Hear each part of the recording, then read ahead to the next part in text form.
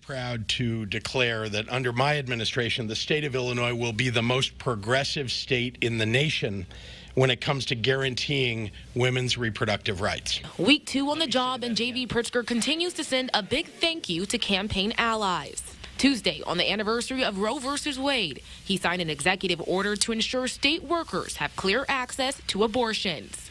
It's a right for women of all incomes. Guided by ultrasound, the abortionist grabs the baby's leg with forceps.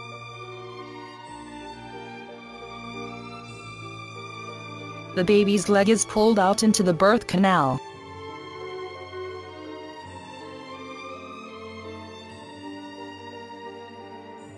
The abortionist delivers the baby's entire body, except for the head.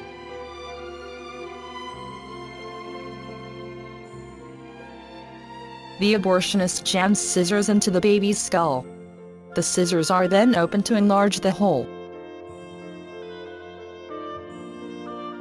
The scissors are removed and a suction catheter is inserted. The child's brains are sucked out, causing the skull to collapse.